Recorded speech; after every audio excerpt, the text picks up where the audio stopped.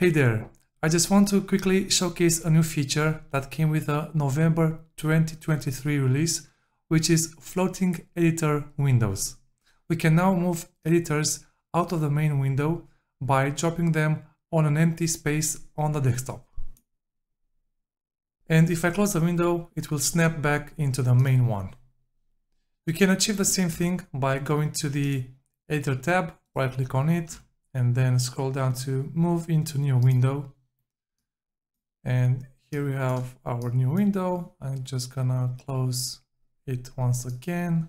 And also you can copy it into new window so you can have the same file on both editors. Yeah, that's pretty cool.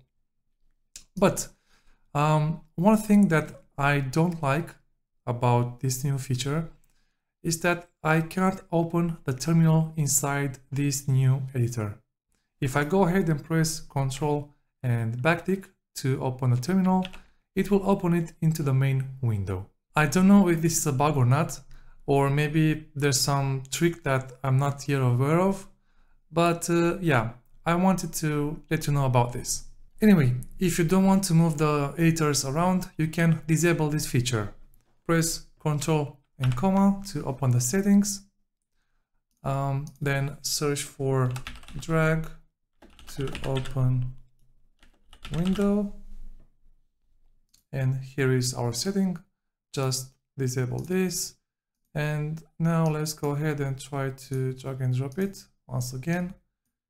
And if we do this, then it doesn't create a new editor window, but it pastes the file where you drop it. Alright, that was it. If you enjoyed this video, go check out my VS Code playlist for more tutorials. Wishing you a wonderful day and I look forward to catching you in the next one.